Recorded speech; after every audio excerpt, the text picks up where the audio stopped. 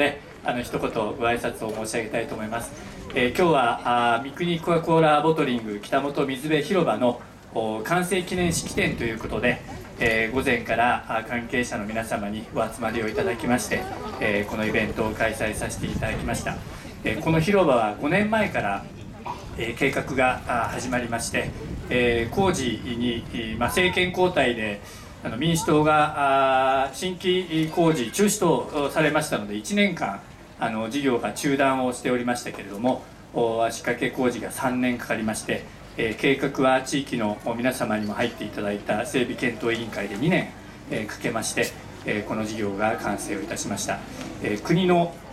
え河川事業でございましてえー、工事は国がやっていただき、まあ、駐車場のみ北本市が工事をいたしまして今後の維持管理は北本市が行うということになっております、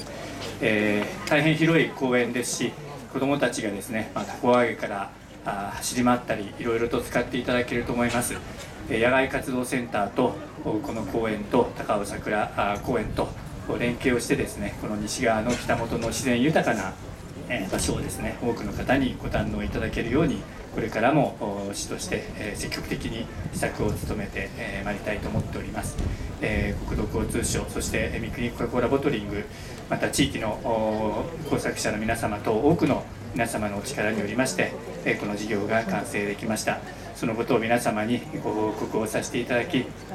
また心から御礼を申し上げましてえー、ご挨拶とさせていただきたいと思います、えー、今日はあの多くの方に本当にお集まりいただきましてありがとうございました。今後ともどうぞよろしくお願いいたします。